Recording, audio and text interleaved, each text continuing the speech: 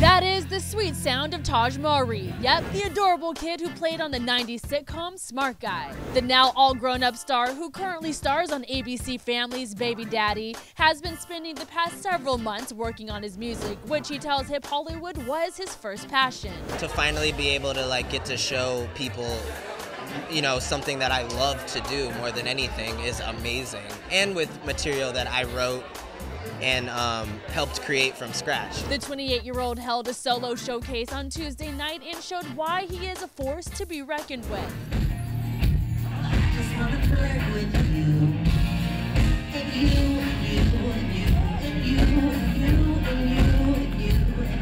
I like to call my music future funk, so it's really funky, but it has like a futuristic vibe to it.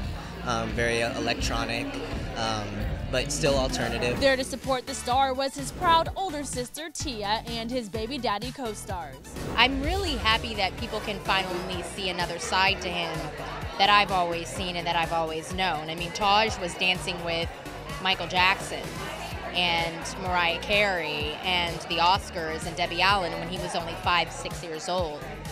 And it was just, you know, it so happens that he booked Smart Guy first and people started to see him as an actor, but he was always an incredible dancer and singer. I've always known Tahj has been the, the best singer ever, and uh, uh, and I love the kid as a person, as a professional, and this is like a whole new level I get to see him on, so I'm very excited. Charming, amazing vocals, and incredible dance moves. Watch out, we say he's here to take over. Single should be coming within the next couple of months, um, and then an EP shortly after that. For HipHollywood.com, I'm Ashley Williams.